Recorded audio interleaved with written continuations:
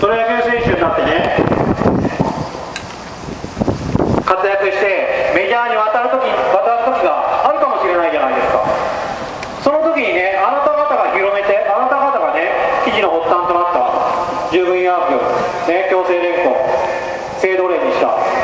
そういうねことがね周りの高校野球でメジャーなメジャーに行ったね活躍する子供たちななったね人にねには祖祖父祖先はね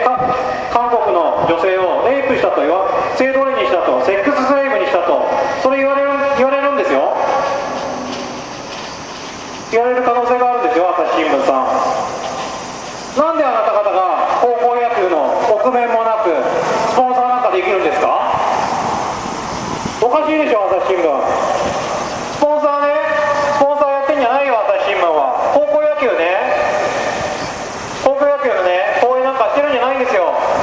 さっさとねスポンサーから降りなさい朝日新聞あなた方はふさわしくないんだよ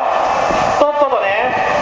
自分たちのやってることそれがね自分たちのやってることがね結局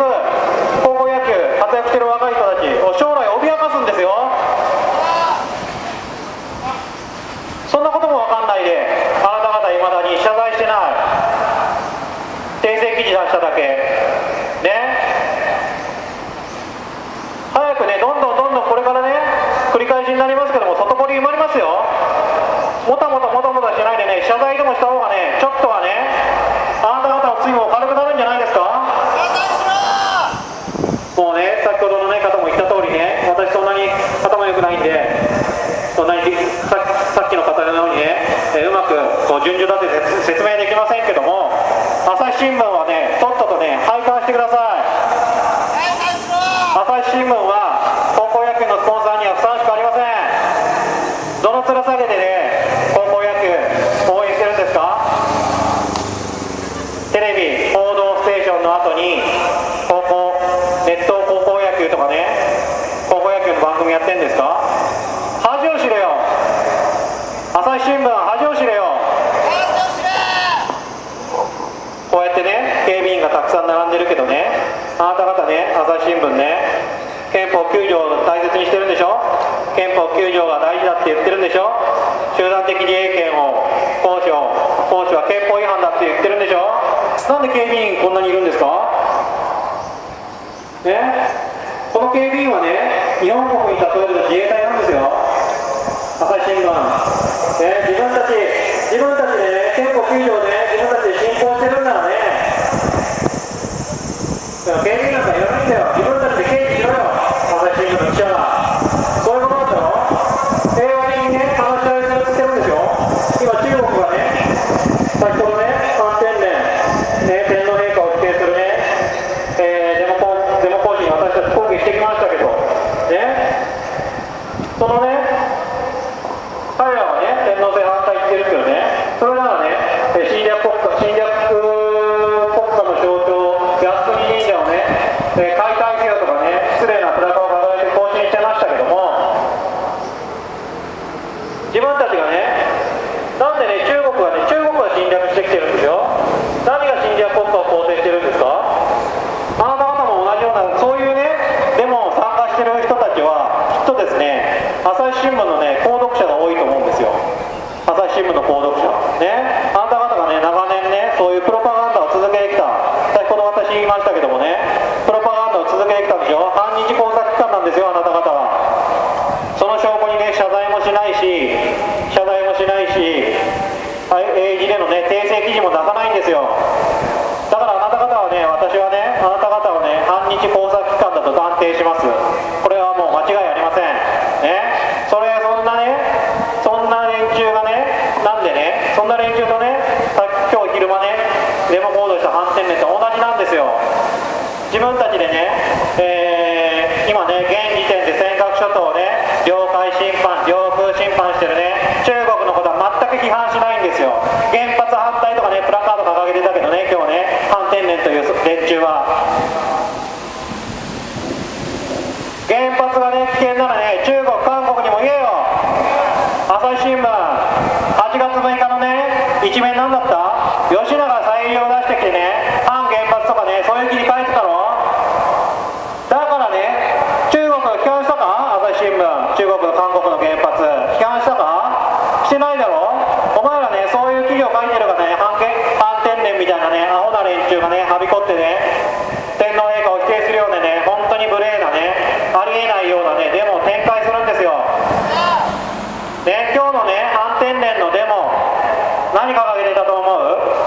昭和選定陛下と顔半分を顔半分とヒトラーの顔半分をくっつけてね黒い布で覆ってたんだよどっちがヘイト行為だ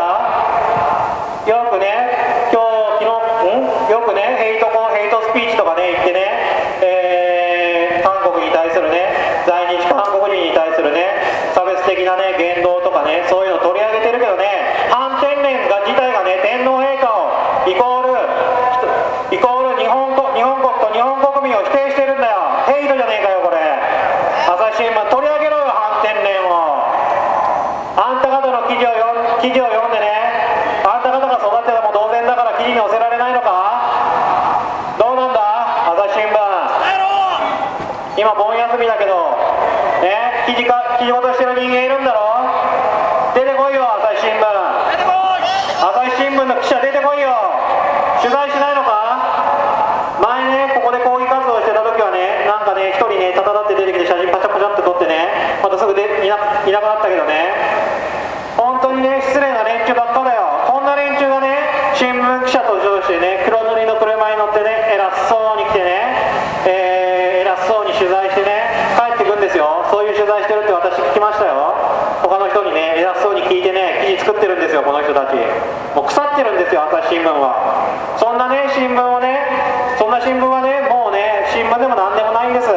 ね自分たちで訂正記事、訂正しました。捏造してましたというね証明をか証明を書いておきながらね書いておきながら平時でね世界ももはや世界的に発信されてるね日本国民日本国民はね、えー日本国のね、えー旧日日本軍はね、えー性奴隷を作ったと性奴隷をしたとそんなことね垂れ流してるね。連中のね肩を持ってる朝日新聞。そうだ反日工作機関なんですよもうこいつらは。だからね私はねもうこうこのね8月5日の記事を朝日新聞が書いてからねもう3回も来てますよ講義に。ね朝日新聞でね今日はね、えー靖国神社のね前であのー国体議員へのね陳情書をね、えーお願いしますとねさんあのー参拝しに来たね、えー日本国民の皆様に配りましたよどんどんどんどんね活動してるから朝日新聞を潰すためにね本当に朝日新聞はね潰れてほしい朝日新聞廃刊しろ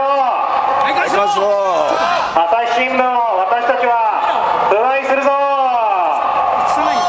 私たちは朝日新聞を不買するぞ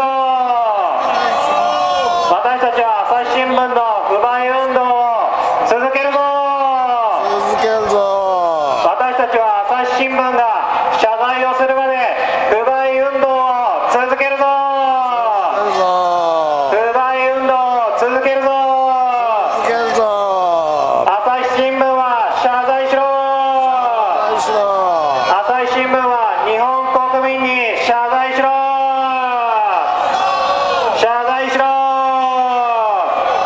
謝罪しろ